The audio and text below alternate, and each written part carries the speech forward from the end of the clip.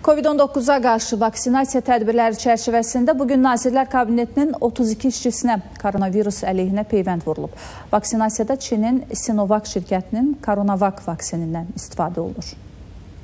Bir sayılı kliniki tibbi mərkəzin modul tipli xəstəxanası bu vaxtadək pandemiya xəstəxanası olaraq fəaliyyət göstərirdi. Lakin burada müalicə olunan xəstələr artıq tam sağalaraq evə buraxılıb, xəstəxana tam olaraq boşaldılıb və bu gündən etibarən burada vaksinasiya prosesi təşkil olunur. İlk olaraq dövlət qurumlarından Nazirlər Kabinetinin əməkdaşları vaksinasiya prosesində iştirak etdilər. Xəstəxanada vaksinasiya üçün 14 otaq ayrılıb. Nazirlər Kabineti yaşı 65-dən yuxarı əməkdaşlarına birinci doza peyvənd vurulub. Növbəti dozanın vurulması isə 28 gündən sonra nəzərdə tutulub.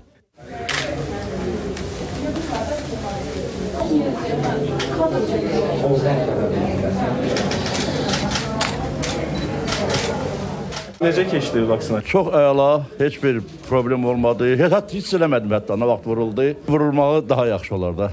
Çünki risk var. Məsləhət görərdim. Burada məcburiyyət yoxdur, bizim məcburiyyət gətirməyiblər. Kim gəlib? Könüllü olaraq gəlmişik. Qrafikaya uyğun olaraq gəlmişik. Peyvənd başlanılıbdır. Burada hər şey yüksək səviyyədə təşkil olunub.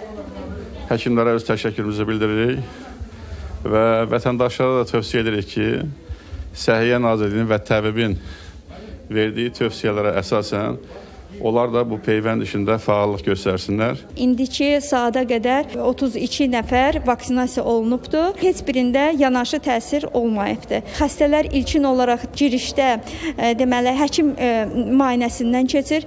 E, onların temperaturası yoxlanılır.